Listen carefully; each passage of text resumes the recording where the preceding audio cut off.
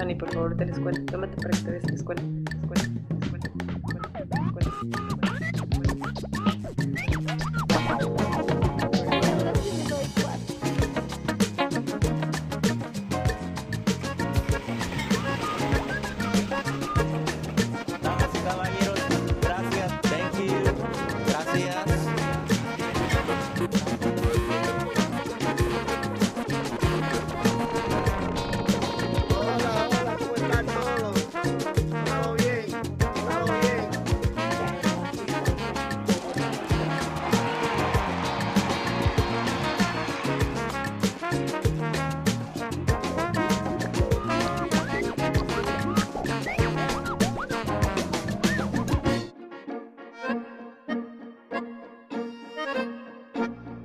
Bienvenidos a Nueva York, un programa dedicado a la cultura hispanoparlante en la Gran Manzana, celebrando su riqueza, diversidad y contribuciones a la vida de esta ciudad. Iniciamos en Puerto Rico con Rafi Mercado, multifacético director, quien reflexiona sobre el cine de su país, sobre su carrera como cineasta y su rol como director creativo del mítico club neoyorquino Sound Factory. Más adelante, en Manhattan, Patricio Lersundi visita a Guillermo Chacón, presidente de la Comisión Latina sobre el SIDA Chacón explica cómo el estigma, la pobreza y en ocasiones el estatus migratorio crean grandes retos para resolver la crisis del VIH en la comunidad latina. En Washington Heights hablamos con miembros de Win Music Project, un programa musical basado en los principios de El Sistema de Venezuela, el cual brinda oportunidades a niños y niñas del vecindario para aprender música clásica. Para finalizar, en el Centro Rey Juan Carlos de NYU asistimos a la más reciente edición de Cortocircuito, Allí conversamos con las creadoras de este evento, que tras 10 años de vida se han consolidado como el único festival de cortometrajes latinos en Nueva York. Y ahora con Rafi Mercado. Eh, soy Rafi Mercado, director y diseñador de producción de cine, más director creativo de espectáculos de música electrónica underground. Un día, sin trabajo en Nueva York, veo el Village Boys y están buscando un director creativo para el Sound Factory. Este local, este club, que viene siendo el, el estudio 54 de los 80 y los 90, me da el trabajo y terminó diseñando, dirigiendo, coreografiando y aprendí un montón. ¿sabes? Es, es, de las mejores escuelas que he tenido en mi vida.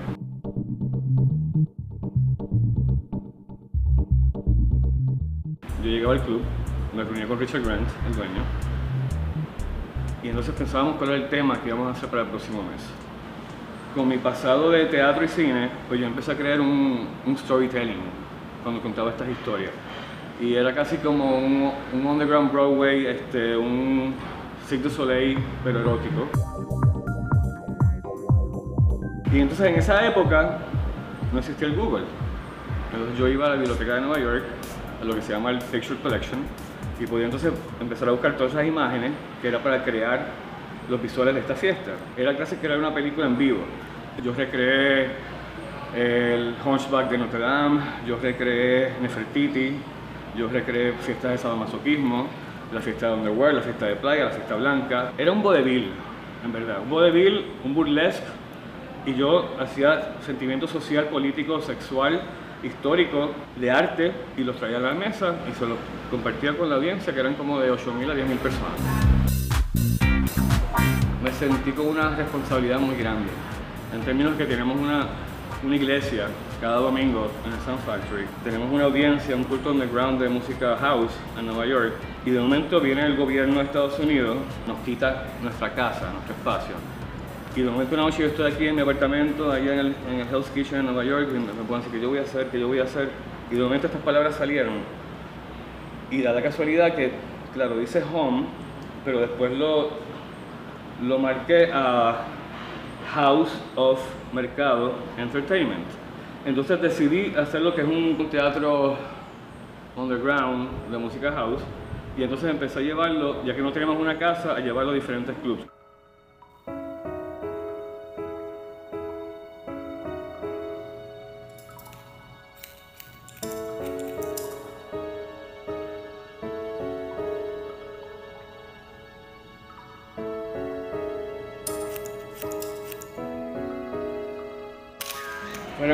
Mi enter, más que nada, es un cuento de hadas urbano.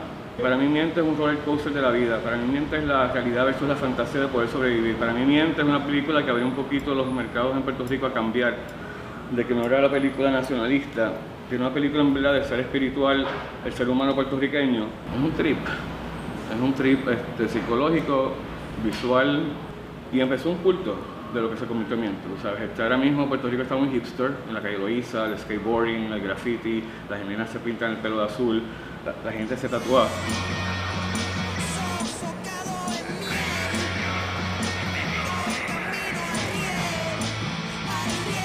Y Miente fue como que un trip bien grande en mi vida, tú sabes, también porque Miente, como yo dije el primer día de filmación, fueron 43 años que explotaron en un éxtasis, una adrenalina que nunca había tenido en mi vida, y en parte Miente tiene que ver mucho con mi vida personal, y la gente que me conoce puede ver Miente de nuevo y se da cuenta que Miente tiene un montón de lo que es Rafi Mercado como artista.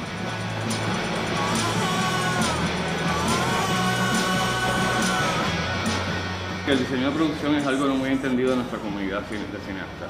Yo no soy un arquitecto, soy un pintor de la película. Estoy muy conectado al, al director, al guionista, al productor y al, fotógrafo. Estoy pendiente a, lo que es el arte, a lo que son los props, a lo que son los vehículos, a lo que son los special effects, a lo que es el vestuario, a lo que es el maquillaje, a lo que es el pelo, colores, la textura, los layers de la película.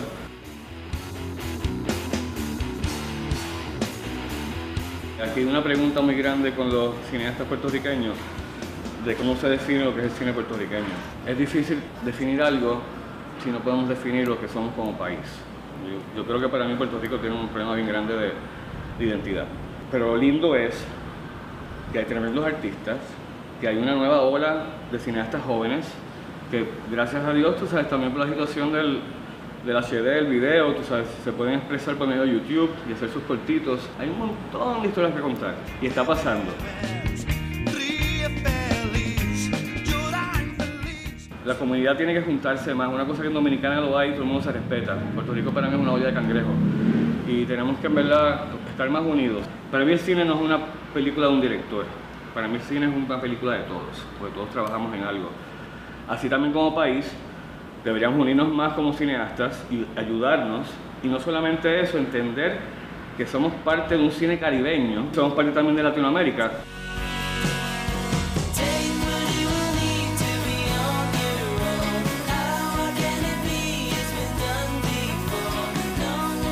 Y hacer cine es pasar la palabra y pasar la energía y, y la vida para mí es aprender y educar.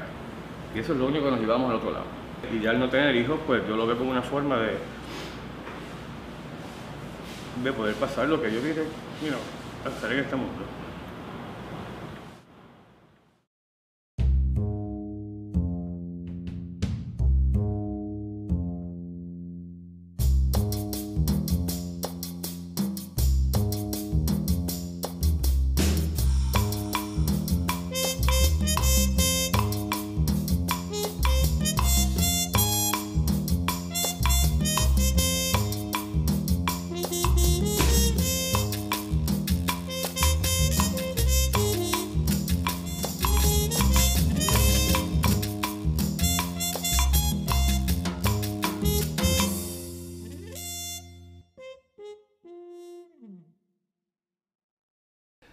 Guillermo Chacón, Guillo para sus amigos, desde su puesto de presidente de la Comisión Latina del SIDA, se ha convertido en un importante líder en la lucha contra este mal que afecta a los hispanos. Guillermo nos habla de sus experiencias como organizador y también de sus logros y planes en la continua lucha que realiza para educar a nuestra comunidad. Guillermo, pues, bienvenido a Nueva York. Gracias. Originalmente la comisión eh, tenía solamente dos ayudantes. Ahora tengo entendido que tiene alrededor de 50 y además un, un presupuesto eh, considerable. Desde 1990 y fue un grupo muy visionario que decidió hacer este esfuerzo. El segundo director o presidente de la comisión fue Denis y yo bajo su administración entré a trabajar en esta gran organización. Tu experiencia como organizador comenzó cuando tenías solamente 14 años eh, en tu país natal, El Salvador. Yo creo de que el compromiso mío desde muy pequeño, mis padres pues tuvieron un papel importantísimo y todos fuimos muy activos en nuestra iglesia, en nuestra parroquia. Y ahí empezó, entonces. Exactamente, una, una, gran jornada. Ya. Y tu concentración, por supuesto, en el tema del SIDA. Y la gente me preguntaba, fíjate Patricio, me decía, bueno, ¿y cómo te vas del Salvador, Centroamérica, uh -huh. eh, y el tema de los inmigrantes aquí en Estados Unidos a la lucha contra el SIDA? Y dije, porque es un tema que es, eh, tiene muchos elementos de injusticia y que necesitamos eh, hacer la diferencia, y Denis tenía una gran visión y pasión alrededor de esto, para hacer visible lo que había sido invisible, o es todavía en muchos casos, el impacto de esta enfermedad en las comunidades hispanas y latinas. Cuando eh, se habla de este problema en la comunidad hispana, la, la percepción cambia un poco. Eh, ¿Por qué? Bueno, yo creo de que hay una realidad a partir del, del censo en Estados Unidos del 90 hasta mm. la fecha, conteo de cada 10 años, y antes de eso, pues ya la, la, comunidad hispana y latina ha venido creciendo. Entonces, tenemos una gran población nacida en el extranjero y una gran población hispana nacida en Estados Unidos, segunda, tercera o quinta o sexta generación. La población nacida en el extranjero tiene eh, unas realidades y unas normas bien marcadas en la cual eh, va a ser bastante difícil que haya una tradición, por ejemplo, de accesar servicios preventivos y de salud.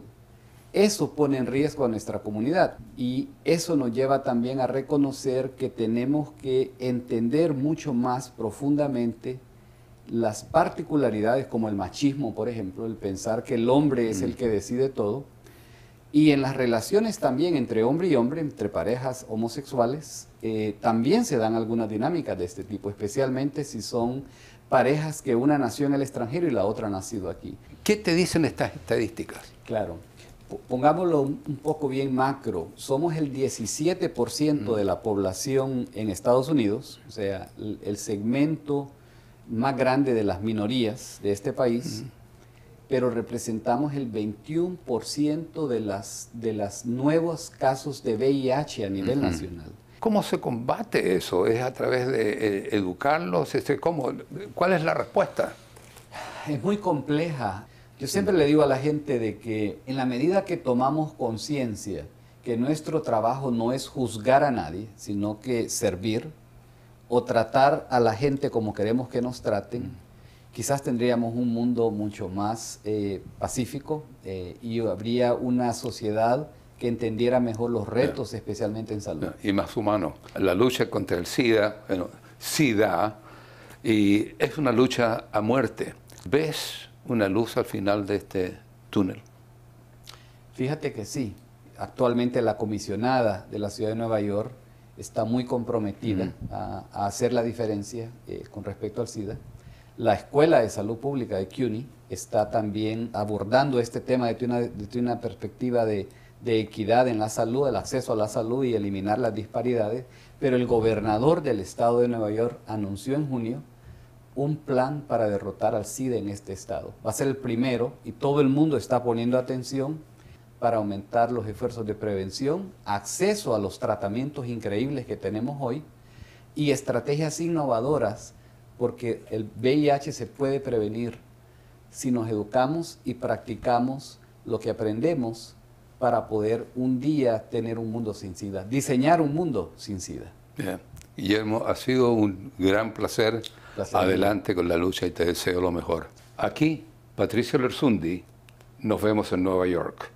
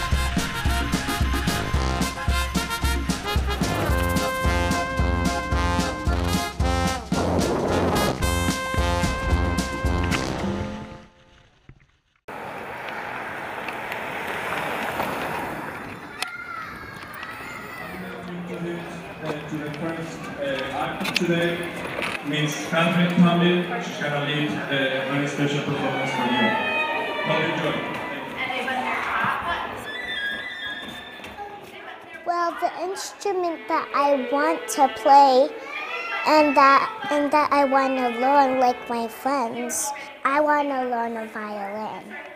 I feel a little happy to hear it because it's soft and relaxing that sound. El sistema eh, es un programa que se creó en Venezuela hace 40 años, en 1975-76, eh, iniciado por el maestro José Antonio Abreu. Eh, era músico, director de orquesta, pero también era economista y político.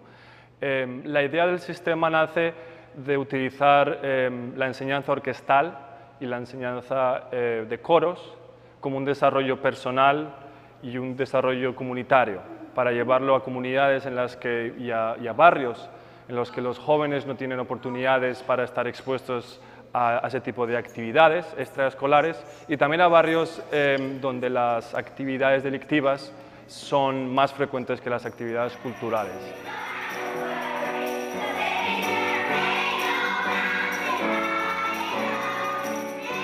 El programa Win Music Project eh, está, en, es- está en Washington Heights, Washington Heights Inwood Music Project. Y mi trabajo acá es de codirectora, al igual de profesora de violín y de orquesta. La orquesta sinfónica eh, trabaja en el United Palace y acá tenemos todas nuestras clases de violín y de cello y viola. You have to remember all those notes, and you have to, it requires a lot of using your elbow, and you have to press on the string to get a really good sound. Nuestro programa está abierto para todos los niños y niñas que estén interesados en aprender música. El único requerimiento es que estén comprometidos a seguir en el programa, al menos durante un año. Well, I really like music because sometimes it could like take feelings, or maybe it might help me resolve maybe bad things about maybe what happened during the day. Cuando uno toca un instrumento, una parte del cerebro se enciende, ¿verdad? Y cuando uno toca instrumento con otra persona, es increíble, de pronto tenemos ya dos o tres partes diferentes del cerebro que están haciendo más conexiones, simplemente porque empezamos a tocar en grupo. Entonces, esa es la idea detrás del currículum, es que sí, vamos, vamos poco a poco y al paso de los estudiantes, pero últimamente lo que queremos es cambiar la forma en que los, en que los estudiantes piensan a través del estudio del instrumento. I like that experience because I get to I get a chance to perform in front of people to show people what I've been doing throughout the times that I've been practicing violin.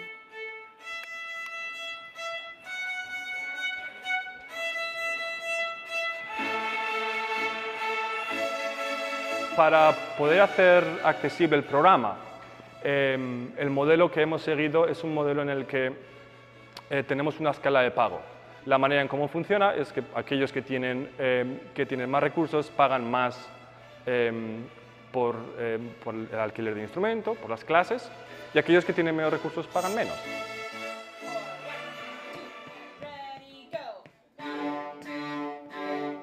I like practicing a lot and it's not that hard really. You just have to like like it and put a lot of effort into it and then you'll be fine. La idea de la formación musical, eh, va, el gol, la meta, es que ellos aprendan a amar la música y que transmitan eso a sus hijos y que se convierta como un virus, pero un virus positivo, pues algo que se va, que va acaparando y que todo el mundo de pronto dice que wow, yo tengo música en mi vida. Y como dice José Antonio Abreu, que tiene que ser un derecho, un derecho del ser humano poder aprender música.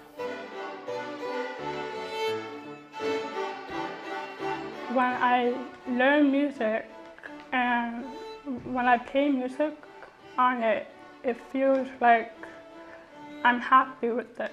It feels like it's a, another part of me. And I finally found another me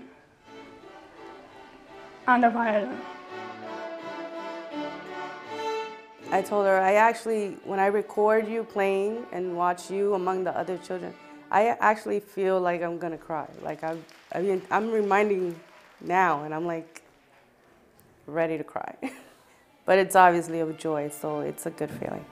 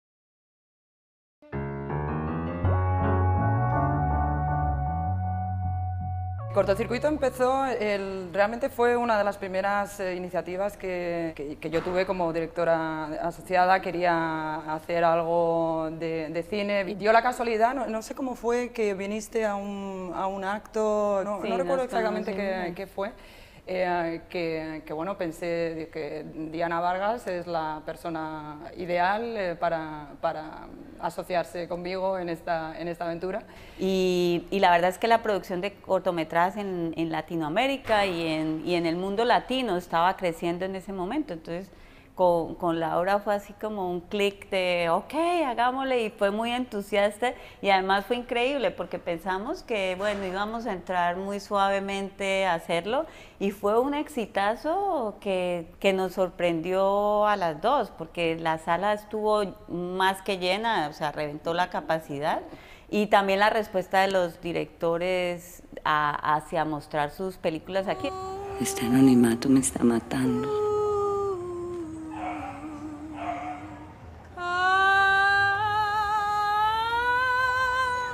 Anonimata es la historia de una mecanógrafa que tiene ambiciones y sueños de ser muy famosa. Entonces es un corto que explora el, el problema o la, el deseo por ser célebre, pero con, en una frecuencia latinoamericana que es distinta a la frecuencia que se conoce en Estados Unidos.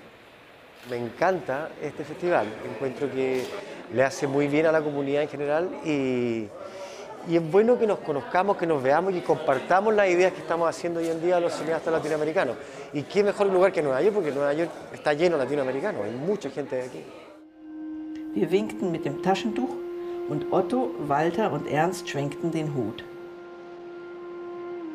Gustav schwenkte auch seinen Hut, da erkannte Walter seinen Vater. Vengo de Chile y participo aquí con el documental Puyuhuapi. Puyuhuapi es una colonia en la Patagonia chilena que se formó básicamente por cuatro alemanes que venían arrancando de la Segunda Guerra Mundial. Esta carta la escribió mi abuela Marta en agosto del 47, varios años antes de que yo viniera al mundo. El año pasado celebramos el, el, décimo aniversario de Cortocircuito y lo celebramos de una manera muy, muy especial y no solo eso, sino el, yo sentí la, acogida del público, vino muchísima gente y realmente la validación del público es lo más, lo más importante en el, en el sentido de que si haces algo puede ser de una gran calidad, pero si no te viene un público y te dice lo, lo, bien que lo estás haciendo, pues realmente no tiene casi, casi utilidad.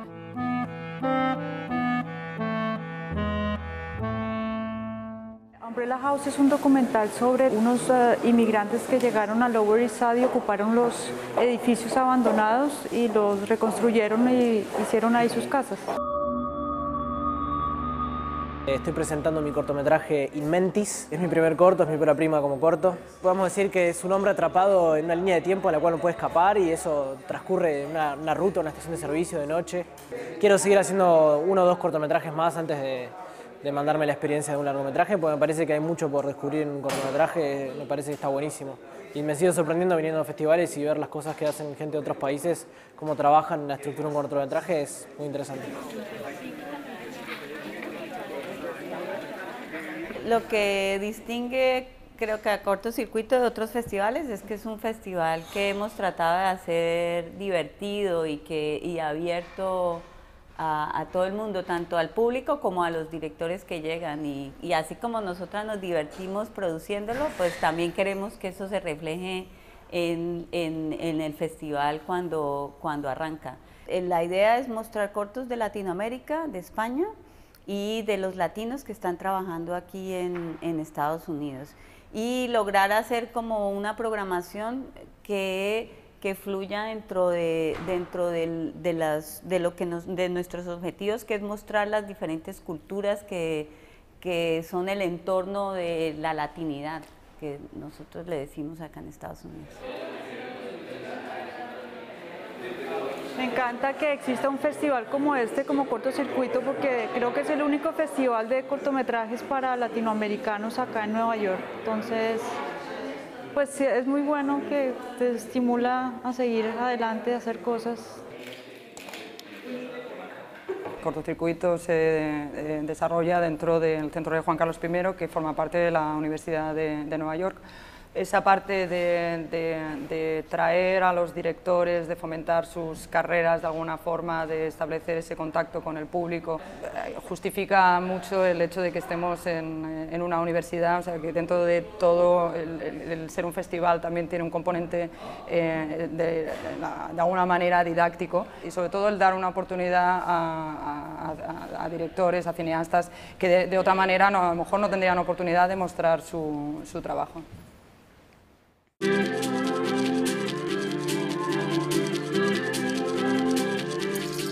Cada uno de los pueblos de habla hispana en el mundo entero están representados en Nueva York. Contáctanos.